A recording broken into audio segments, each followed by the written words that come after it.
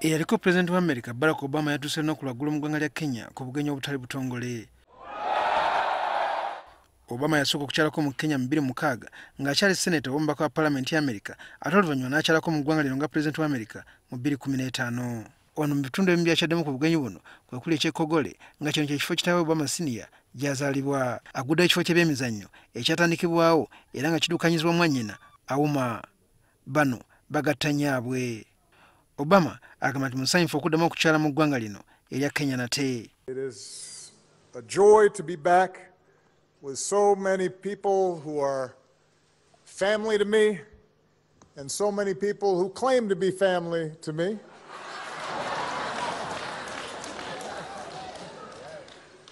Today, I'm really coming as a brother, uh, as a, a citizen of the world, as someone with a connection to Africa, to talk about the importance of what she's doing uh, but also to create a larger context for what's possible. obama ategeeza nga abantu bangi omuli n'abavubuka mu ggwanga lya amerika bwe basobola okubaako bye bayigira ku kenya bw'atyo n'asaba n'abavubuka mu kenya obutadduka kugenda mu buddo nga kitaawe bwe yakola kubanga emikisa mingi egiriwo kati gye basobola okuyitamu okwekulaakulanya nga bali mu ggwanga lyabwe erya kenya Kenya has made extraordinary strides in recent decades.